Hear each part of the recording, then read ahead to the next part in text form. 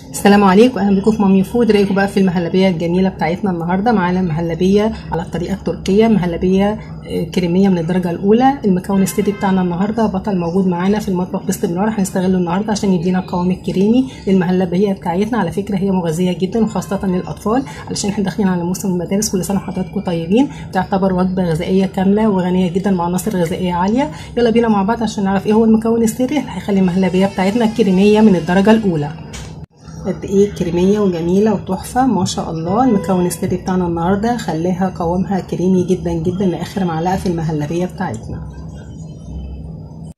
بسم الله الرحمن الرحيم. نعمل مع بعض إن شاء الله المهلبية التركي أو المهلبية على الطريقة التركية. بيكون قوامها كريمي جدا ومعايا مكون سري هيخلي المهلبية بتاعتي تطلع قوامها في منتهى الجمال. تحفة جدا. وهتعتمد إن شاء الله الوصفه عندك وخاصة إن المقادير اقتصادية من الدرجة الأولى. حاجة كده جميلة ولطيفة وبترطب على القلب. معايا دلوقتي كمية من الحليب. عبارة عن نص لتر من الحليب فما يعادل كوبايتين من الكوبايات المعيارية هنزل بيهم الرحمن في البولة بتاعتي.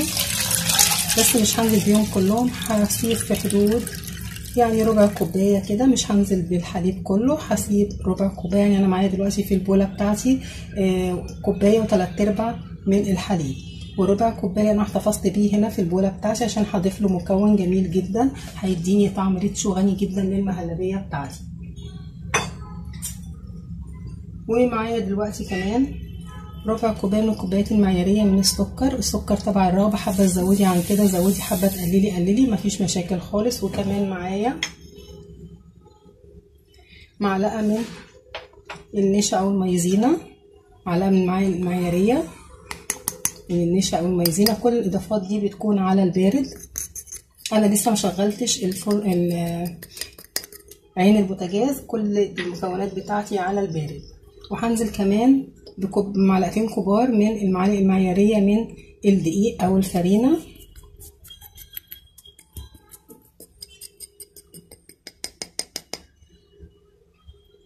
وهبدأ إن أنا أقلب على البارد بالراحة خالص علشان أطمن وأتأكد إن المكونات اللي عندي كلها دابت وتداخلت مع بعض.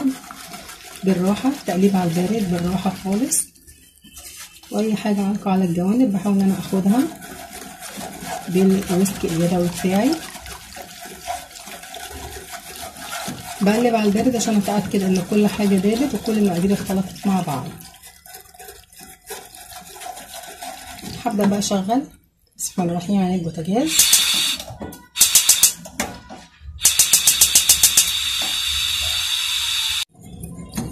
ونبدأ نقلب واحدة واحدة كده مع بعض على عين البوتاجاز على نار متوسطة. بالراحة التقليب بيكون بالراحة وبشكل مستمر ما وقفش التقليب نهائي لغاية ما يبدأ الخليط بتاعي يسخن وكمان هنقول مع بعض واحدة واحدة كده على التركة المهمة علشان تخلي المهلبية بتاعتي كريمية وتحفة وجميلة جدا. المكون اللي إحنا ضفناه بالإضافة للنشا كان الدقيق أو الفرينة. الدقيق عامل من عوامل نجاح الوصفة بتاعتنا ما نهملهاش أو نستبدلها بأي حاجة خالص لأن ده عامل مهم جدا علشان تكون الوصفة بتاعتي كريمية من الدرجة الأولى. على فكرة الدقيق أحسن بكتير جدا من النشا لأن النشا له طعم بيبان في المهلبية ولكن الدقيق ملوش أي طعم بيبان نهائي. وأهم تريك علشان مبينش طعم الدقيق إن أنا أستنى إن الخليط بتاعي يغلي كويس جدا ويبقبق كده معايا علشان الدقيق يقوم بالمهمة بتاعته وهو القوام الكريمي للمهلبية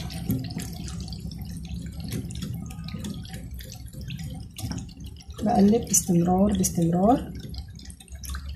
وبرضو إحنا مع بعض في الفيديو علشان نقول إيه هي التركة المهمة اللي هتخلي القوام بتاعي كريمي جدا من الدرجة الأولى.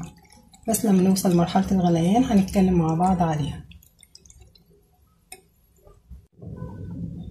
وإحنا برضو مع بعض مستمرين عند عين البوتاجاز بنقلب على طول بصفة مستمرة المهلبية بتاعتنا أو المحلبية. بيسموها محلبية في تركيا. وإحنا عندنا هنا في مصر بنقول عليها مهلبية بدأت إن هي تتقل معايا. لو نلاحظ إن المهلبية لما بتتقل العلامة بتاعة الويسك أو المضرب اليدوي بتبقى واضحة شوية أكتر. وكمان بتتكثف كده على جوانب البولة. بشكل ملحوظ. فبرضه هفضل استمر في التقليب مش هوقف التقليب نهائي عشان ما تكتلش معايا. وأهم مرحلة في عمل المهلبية هي المرحلة اللي إحنا فيها حاليا لأني مش بوقف التقليب علشان تنجح معايا وكمان في تركة مهمة. لما بتبدأ تغلي مش بطفي عليها لأ بستمر في التقليب حتى بعد الغليان. بدأت. تغلي وتبقبق كده. تعمل فقاعات مش هوقف تقليب برضو هفضل أقلب في حدود دقيقتين علشان الدقيق والنشا والمايزينا يبدأوا يستووا معايا وما يكون لهمش أي طعم نهائي واضح في المهلبيه أو المحلبية. تمام؟ دي أهم تركة من تركات نجاح المهلبيه مش بوقف تقليب نهائي. دقيقتين بعد الغليان هفضل مستمرة في التقليب. بالشكل ده. علشان لسه معانا إضافتين مهمين جدا. علشان تكون المهلبية بتاعتنا كريمية وليها قوام جميل جدا وطعم غني جدا. بتديني كده طعم بيديني بيوديني مكان تاني خالص غير المهلبية العادية اللي إحنا نعرفها كلنا. وأهم تركه كمان يكون الحليب بتاعي يكون كامل الدسم. علشان تديني القوام الكريمي اللي أنا حباه يكون الحليب بتاعي كامل الدسم ايا كان بقى الحليب بتاعي سواء كان جايباه من السوبر ماركت أو الحليب اللي بيتباع في أكياس أو بيتباع في أزايز. تمام؟ ما شاء الله زي الفل. أنا بقى هنا هوقف تقليب وههدي عليها النار خالص علشان هضيف إضافة مهمة جدا. وهي عبارة عن معلقتين من المعالق المعيارية. من الكريم شانتيه البودر لو كان جاهز اللي بيتباع في الباكيتات هكتفي بمعلقتين فقط من كريم شانتيه البودر على ربع كوباية الحليب اللي كنا سايبينها مع بعض أثناء التجهيز. لكن لو الح... ال... الكريم شانتيه اللي عندي مش جاهز يبقى هستخدم الكريم شانتيه الخام وعليه معلقة كبيرة من السكر علشان أعادل الطعم. لأن الحل... الكريم شانتيه الجاهز اللي بيتباع في باكيتات بيكون متحلي بالسكر ولكن الخام ما بيكونش متحلي بالسكر فبقلب كويس جدا لغاية ما ادوب الكمية اللي معايا وأبدأ أنزل بيها على المهلبية بتاعتي. وبستمر في التقليب وأبدأ أنزل بكميه الكريم شانتيه اللي أنا دوبتها مع ربع كوباية الحليب اللي كنت سايباها أثناء تجهيز المهلبية بتاعتي أو المحلبية. علشان تديني القوام الكريمي أكتر وكمان يكون طعم المهلبية بتاعتي ريتش وغني جدا.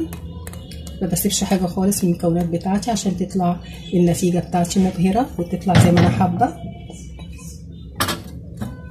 واستمر في التقليب. كويس جدا جدا. وببدأ أنزل بقى بآخر مكون عندي وهو نص معلقة من الفانيليا سواء كانت بودر أو فريش. بقلب كويس جدا وبطفيه خالص بتكون آخر حاجة بضيفها هي الفانيليا علشان ريحة الفانيليا تستمر معايا موجودة جوه المهلبيه ما تتطيرش معايا أثناء الغليان. بقيت القوام بتاعت المهلبيه بتاعتي بالشكل الجميل ده. ببدأ بقى آخد البولات بتاعتي وأوزعها فيها وأسيبها تبرد تماما عشان نشوف الشكل النهائي بتاعها وهي كريمية جدا جدا. وعلشان كمان يكون الطعم بتاعي غني أكتر ويكون تحفة جدا ببدأ أنزل بمعلقة من الزبدة بالشكل ده وهي كده أو كده في جميع الأحوال هتدوب معايا علشان لسه المهلبيه بتاعتي سخنة جدا. هسيبها بقى تبرد إلى حد ما حاجة بسيطة كده بعدين هبدأ أنزل بيها في البولات بتاعتي. وبالطريقة دي بقت معايا أجمل مهلبيه أو محلبية تركية كمان كريمية من الدرجة الأولى واقتصادية جدا جدا غنية بعناصر غذائية عالية جدا ومغذيه لكل أفراد الأسرة خاصة على الأطفال وخاصة إن إحنا داخلين على أيام المدارس يعني تقدري تعملي لهم المهلبيه وتكون وجبة غذائية كاملة متكاملة. اللي لسه لغاية دلوقتي ما عمليش like يا ريت تنزل تحت واعملي like ولما كنتيش مشتركة معايا في القناة ريت تعملي subscribe وتنوريني في القناة تضغطي على زر الجرس والكل عشان تفعلي يوصلك مني فيديوهاتي أول بأول. دمتم في رعاية الله والسلام عليكم ورحمة الله